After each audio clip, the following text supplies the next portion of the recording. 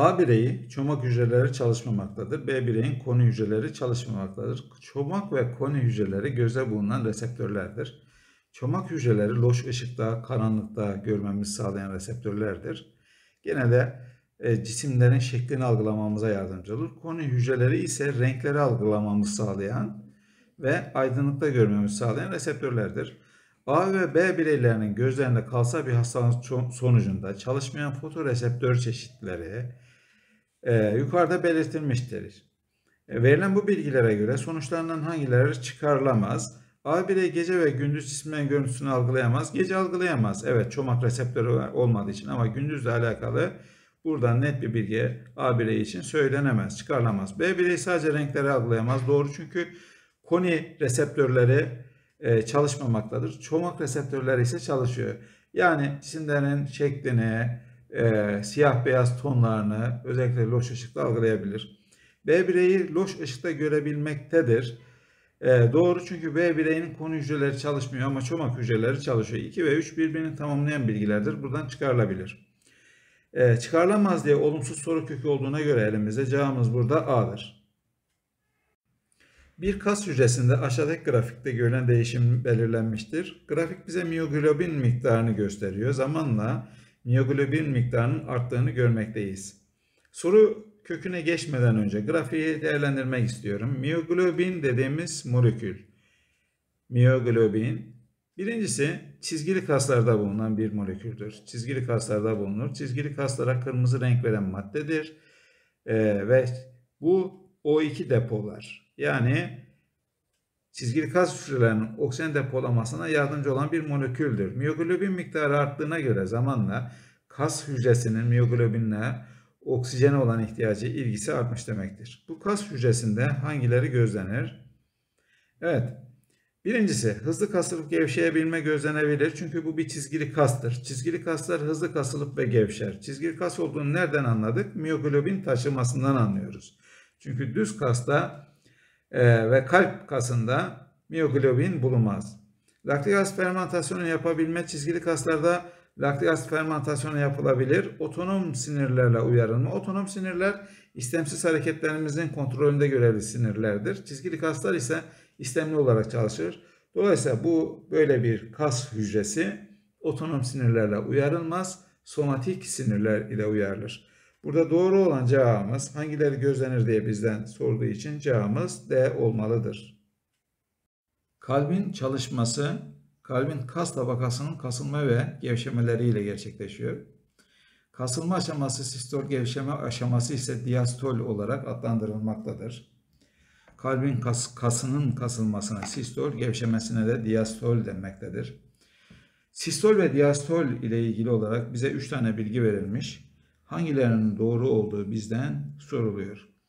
Kulakçıklarla karıncıkların kasılmaları birbirine zıttır doğru. Çünkü kulakçıklar kasıldığında kan karıncıklara dolar. Karıncıklara kanın dolabilmesi için karıncıkların gevşeme halinde olması gerekir. Evet, kulakçık ve karıncıkların diastolü gevşemesi ile kalbe kan dolar. Bu da doğru. Kalp dinlenme haline geldiği zaman kulakçık ve karıncık birlikte gevşer e, çok kısa bir süredir bu. 0,40 saniye gibi yaklaşık olarak. Bu esnada kulakçık ve karıncıklara e, e, hareket halinde olan kan dolacaktır. Karıncıkların kasılması sonucu yarım ay kapakçıklar açılır ve karıncıklarda bulunan kan atar damarlara geçer. Bu da doğrudur. Yarım ay kapakçıklar atar damarların başlangıç noktasında bulunur. Karıncık kasıldığı zaman kulakçıkla karıncığı ayıran biküspit, triküspit kapakçıklar kapanır ve kanın tekrar kulakçıklara dönmesi engellenir. Yarım ay kapakçıkları açılır. Sağ karıncıktaki kan akciğer atar damarına, sol karıncıktaki kan ise aort atar damarına geçer. Bu bilgi de doğrudur. Cevabımız burada E'dir.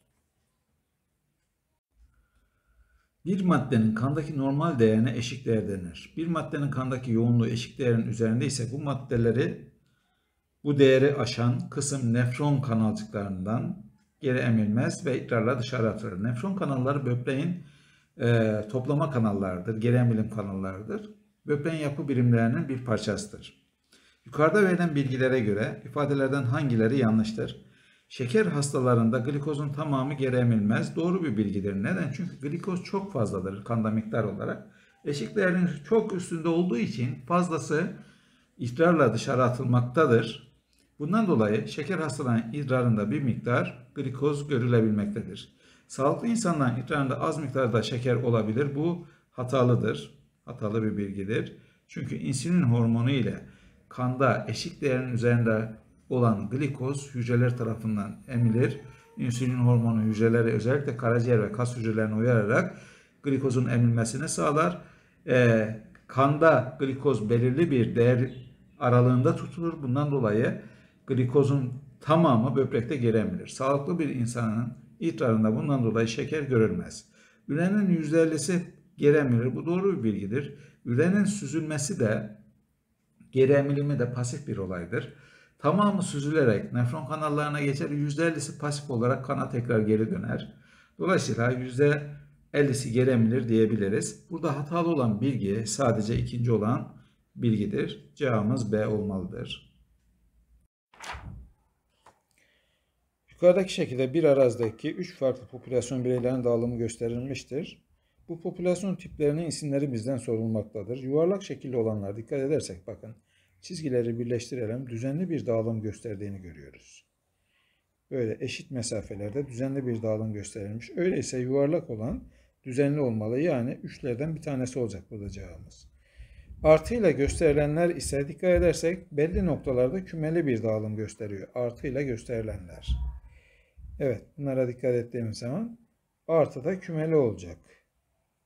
Evet. Yani 1 olması lazım. Cevabımız D ama 2 ile kontrol edelim.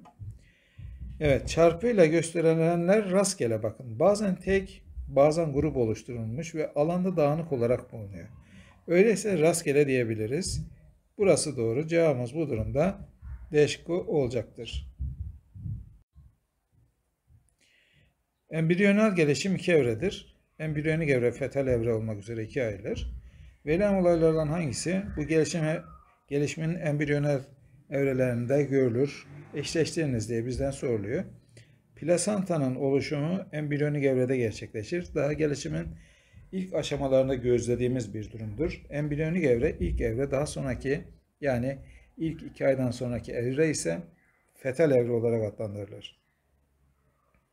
Apoptozis olayı çok ileri evrelerde görülen bir durumdur. Parmak oluşumu, parmakların açılması planlı hücre ölümleriyle yani apoptozisle gerçekleşir. E, kalbin çalışmaya başlanması, başlaması başlangıçta görülen bir evredir. E, birinci ayın sonunda kalp atımları duyulmaya başlanır. Omuriliğin oluşumu ise ilerleyen evrelerde nöral tüpten gerçekleşir. E, fetal evrede gördüğümüz bir durumdur. Cevabımız 1, 3, 2, 4 olmalıdır. Bu da cevap B'dir. Odunsu bir bitkide su molekülleri kökten emildikten sonra odun borularına ulaşıncaya kadar yapılarından hangi sıraya göre geçer? Öncelikle emişi tüylerle emilir. Yani bir en başta olmalıdır. Daha sonra arkasından parenkim hücrelerin yoğun olarak bulunduğu korteks bölgesi gelir. Korteks bölgesinin sınırı ise endodermistir. Daha sonra endodermis katmanı gelir. Endodermis katmanı üzerinde bulunan e, periskıl katmanı geçtikten sonra iç bölgeye yani merkezi silindire ulaşır su molekülleri. Onun borularına gelmiş olur. Öyleyse e, en son kısma yazacağımız kısımda periskıl olmalıdır. Yani 3 olması gerekir. Cevabımız 1, 4, 2, 3 şeklinde olacaktır. Evet.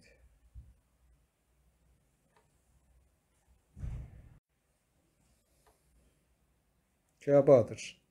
Yukarıdaki tabloda A sütunları bitkinin ihtiyacını gösterirken B sütunları mineralin topraktaki miktarını göstermektedir. Grafiği analiz ettiğimiz zaman bakın kalsiyum minerali evet bitkinin ihtiyacından çok azdır ve sınırlayıcıdır. Bakın burada yeterli kalsiyum miktarı yok. Bitkinin ihtiyacı potasyuma bu düzeydeyken toprakta bu seviyede yani ihtiyacın çok üstünde. Dolayısıyla Potasyum için ekstra bir takviye gerek yok. Fosfat ihtiyacı ise topraktaki miktarla ihtiyaç aynı düzeyde. Yine ekstra bir takviyeye burada ihtiyaç yok. Verilen bilgiler incelediğimizde hangilerinin doğru olduğu bizden isteniyor. Doğruları bulalım beraberce. Bitkinin büyüme ve gelişmesinin ortamdaki kalsiyum sınırları doğru çünkü kalsiyum miktarı ihtiyacın çok altında. Bitkinin büyüme ve gelişmesini hızlandırmak için toprağı gübreleme ile kalsiyum ve fosfat verilmelidir.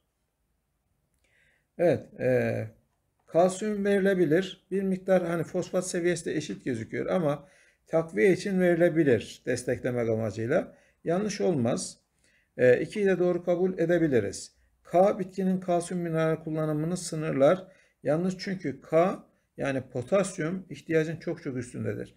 Dolayısıyla böyle bir sınırlayıcı etkisi söz konusu değildir. Burada doğru olan cevabımız 1 ve 2'dir. Fibrinojen kanamalarda kanın pıhtılaşmasında görevli önemli bir proteindir. Karaciğer tarafından üretiliyor. Daha sonra da kan plazmasına veriliyor. Fibrinojen sentez sırasında karaciğer hücrelerinde hangileri görülür? ATP tüketim olur. Çünkü sentez tepkimelerinin tamamında ATP harcanır.